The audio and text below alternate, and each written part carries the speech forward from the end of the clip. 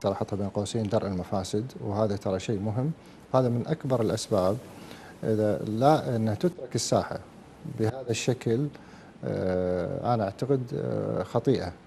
آه، يعني اليوم ممكن أنا أصر على رأيي وأنت تصر على رأيك. أنا أعتقد العمل السياسي ما في يعني المعادلة هذه تكون يعني ما هي من جانب سياسي. دائما آه، العمل السياسي البحث على حلول توافقية سياسية للوصول إلى أهداف استراتيجية. يعني اليوم أنت آه، أتيت هناك حكم محكمة دستورية وهذا الحكم عنوان الحقيقة. بغض النظر عن رأيك يمكن آه، أتفق أختلف انتهى. خلاص هناك حكم محكمة دستورية وهناك فترة انتخابات وهناك مشاركة الكل قاعد يعلم إن هذه الانتخابات يعني آه، انتخابات حقيقية آه، وإن كانت غير ممثلة بنسبة آه، أقول لك 75% انتخابات حقيقية.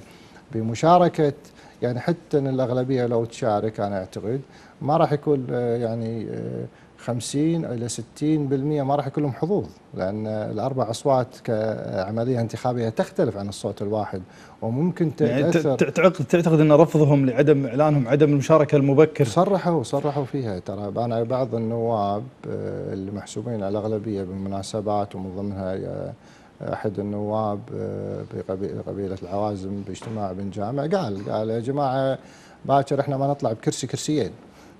يعني آه، قالت يعني وشلون تشاركون وباكر نخسر أربع كراسي ونطلع بكرسي كرسيين؟ يعني اليوم آه، يعني إحنا نواب ونعرف يعني يمكن الأغلبية تعلم أن كان لها في قانون بأغلبية برلمانية. وهي تعادل ثلثين المجلس وهي أغلبية خاصة مخيفة. إن أنت تتنازل عن ذلك وترجع للمربع الأول بانتخابات الصوت الواحد وأنت تعلم مسبقا لن يتحقق لك هذه الأغلبية ولا حتى 50% من هذه الأرقام. يعني ما ألومهم إذا آه، يعني آه، حاولوا بمحاولات سياسية عديدة للمحافظة على مراكز سياسية خلينا نكون واقعيين.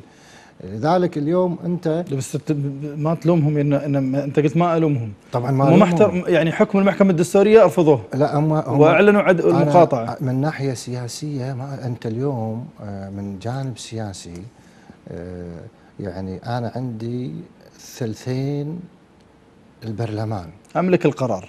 تملك القرار مو بس على مستوى البرلمان على مستوى التشكيل الحكومي. رئيس الحكومة والحكومة تحت توجيهي الغير مباشر. وكان واضح حتى من تصريحه قبل تشكيل 2012 طالبوا في تسع كراسي. تسع كراسي معناته من 16 كرسي يعني أغلبية داخل مجلس الوزراء. وأغلبية داخل مجلس إلا أن طبعا سمو رئيس مجلس الوزراء لم يوافق هذا العدد وكان هناك عدد أعتقد أعطوهم ستة بشكل مباشر. لكن كان هذا حل توافقي إلا أن حتى الحكومة ممثلة برئيسها تعلم بشكل جيد أن هناك أغلبية خاصة موجودة ومدعومة بقرار سياسي والحكومة لا تمتلك من أمرها أو قرارها شيء. لذلك الحكومة سياسيا ساقطة.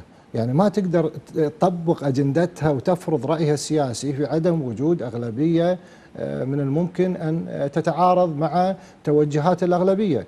وحاول الأغلبية ب يعني المرحلة الأولى وكان هناك حتى من الأقلية محاولات لإحراج الأغلبية بالدفاع عن الحكومة ورئيس الحكومة من خلال استجواب الأخ صالح العاشور. صالح العاشور. وأنا أعتقد أجبرت الأغلبية بالدفاع عن سمو رئيس مجلس الوزراء في ذاك الوقت والحكومة والحكومة للدفاع لهدف الأغلبية كانت تسعى إلى آه، ثلاث ثلاث استجوابات يعني تم الدفاع عن, طبيعي عن وزير الداخلية ووزير الإعلام ورئيس الوزراء. أخوي طلال أنت يعني تعلم أنت مراقب سياسي جيد. أنا أتذكرك وتجلس على المنصة وتعلم جانب يعني مثل ما كان دور الأغلبية عندما كانوا أقلية في ذلك الوقت بالاستجوابات وإحراج الأغلبية القريبة من الحكومة لكشف أوضاعها والهجوم السياسي اخذت هذا الدور الأقلية وتركت الأغلبية للدفاع. آه، وأجندة الأغلبية في النهاية حاولت بشتى الوسائل السياسية الا ان الكلفة السياسية كانت آه، باهظة على الشارع السياسي وعلى قواعدهم الانتخابية بالاستمرار الدفاع عن الحكومة المستمر بغض النظر عن الأداء الغير مقنع ومحقق للطموح للشعب الكويتي. وإن كان طبعا هناك يعني أنا أعتقد وزير المالية كان في ذلك الوقت يعني غربان سياسي إن ضحت في الحكومة. لانها لا تملك الأغلبية للدفاع عن وزير المالية. هذا مؤشر أنا كان يفترض عادة في الدول الديمقراطية. يعني عندما توجد أغلبية قبل تستمر وهذا ترى يعني في المذكرة التفسيرية في الدستور يأتي رئيس الحكومة ويكون عنده أجندة ونقاش مع الأغلبية إن هذا برنامجنا وهذا جدولنا. مع الأغلبية. طبعا لأن أنت بالنهاية هم شركائك في القرار السياسي. ابو عمر إحنا راح نواصل حديثنا عن الأغلبية وعلاقتك معاهم في المجالس السابقة. ولكن بعد هذا الفاصل.